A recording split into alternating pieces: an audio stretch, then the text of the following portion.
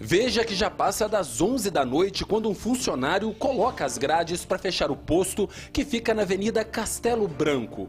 O funcionário está tranquilo. Observe que ele coloca a última grade de proteção, mas de repente algo acontece e ele cai no chão. O homem corre e parece se afastar do posto.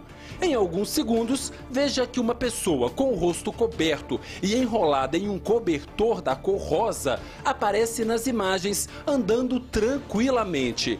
Perceba que uma câmera instalada dentro da loja de conveniência registra funcionárias se preparando para fechar a loja. Elas percebem o que está acontecendo e correm para fechar a porta. Em seguida, elas vão para os fundos. O homem então entra no local, ele exige que seja entregue dinheiro. Uma funcionária vai até o caixa, recolhe as notas e entrega para ele, que vai embora tranquilamente.